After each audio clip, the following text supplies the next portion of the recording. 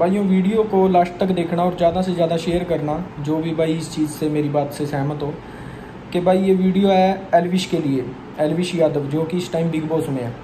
तो भाई, उस लड़के ने काफ़ी टाइम पहले जब किसान आंदोलन हुआ था तो किसान आंदोलन में भाई उस लड़के ने किसानों को आतंकवादी बताया था, और किसानों को गाड़ियाँ भी बहुत दी थी, और भाई उसने बीजेपी सरकार का साथ देते हुए ये चीज़ कही थी कि किसानों को जल्दी से जल्दी उठाया जाए, ये तो इनका तो यही काम है, तीसरे दिन रोड जाम कर देना।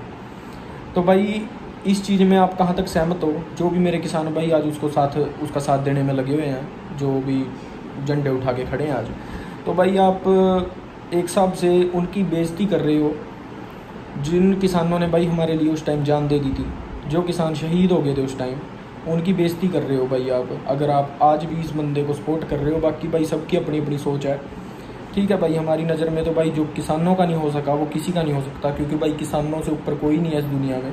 क्योंकि किसानों का ही देन है, जो आज हम खा रहे हैं, अगर चार दिन भी, पाँच दिन भी खाना ना मिले तो बंदे का भाई हालत ख़राब हो जाएगी। ये चीज़ सबको पता है भाई, खाने के सिर पे चल रही है दुनिया। और भाई, खालिस्तान को जो वो एक टारगेट बना के फेम ले रहे हैं ना, जो ये दो टके के लोग, खालिस्तान को टारगेट बना के। किसान आंदोलन में भाई क्या सब खालिस्तानी थे? मेरे को ये चीज़ बता दो भाई। हर बंदे को उस टाइम खालिस्तानी बता दिया गया था, सिर्फ़ इन जैसे दो कोड़ी के लोगों ने। अब भाई कमेंट में हर बंदा ये बताना भी कौन कौन इस बात से सहमत है? ये चीज़ सुनने के बाद भी भाई उसने ये कुछ किया था कौन कौन उसकी सपोर्ट में? धन्यवाद।